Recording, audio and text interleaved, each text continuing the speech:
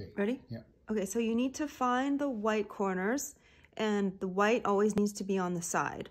So this one's in a good position. It's white and green. We're gonna match the green side, the colored side with the center.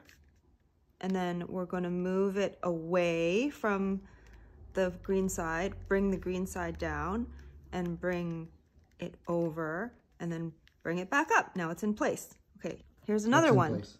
The The- oh, corner. the white corner, corner. okay. Now this white is on the side, so it's in a correct position. What's on the other side? Red. Okay, so we need to find red. So find the red center, there it is.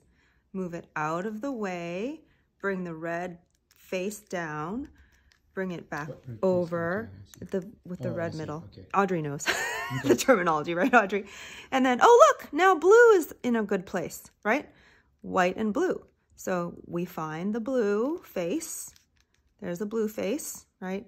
Move it away from the blue face, bring the blue face down, move it back into place, and move the blue face back up.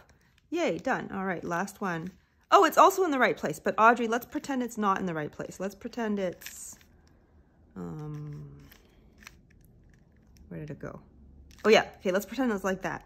Like, oh shoot, white's on the bottom. It's not in a correct place, right? So how do we deal with it? Well, this is the only square that you can fiddle with. So we bring this down and then turn this guy.